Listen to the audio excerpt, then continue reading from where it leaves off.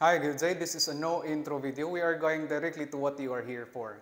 So today we are going to find the derivative of any function using the definition of limits. So the definition of limits says that in finding the derivative of any function so equals to the limit of f quantity x plus h minus f of x all over h as h approaches 0.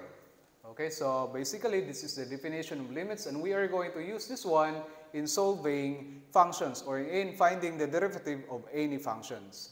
So we have an example here.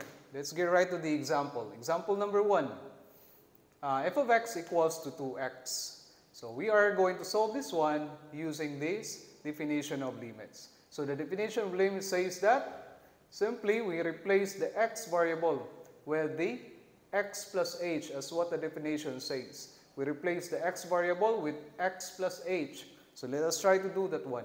Okay, we just copy the 2, copy the 2, then replace the x variable with x plus h. Then subtracted with the original function which is 2x. The f of x is equal to 2x, that's why we put the 2x here. All over h, just copy the h here as h approaches 0. Again, we have, uh, we are, I'm going to repeat the, the process. Just copy the numerical value here, then replace the, replace the variable with x plus h. So for instance, there are more than one x variable in the function.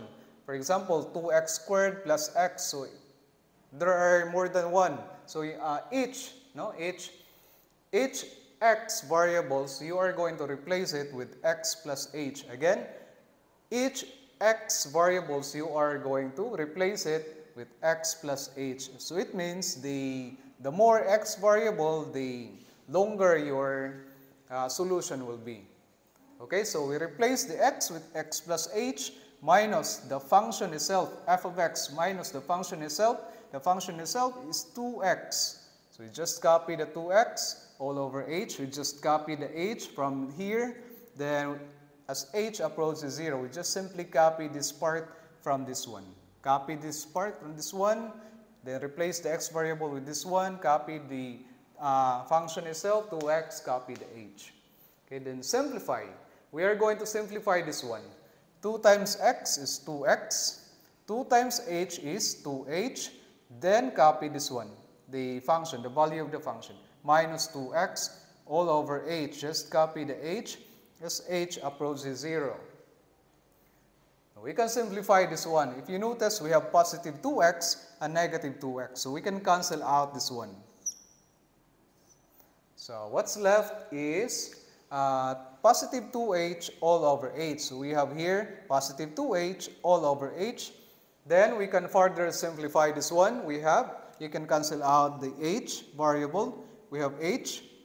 Uh, so basically, it is equal to positive 2.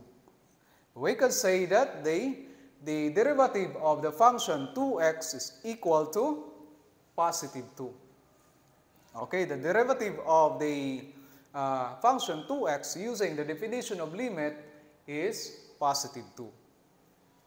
Alright, so is it clear? Thank you for watching and I hope you have learned something. Bye bye.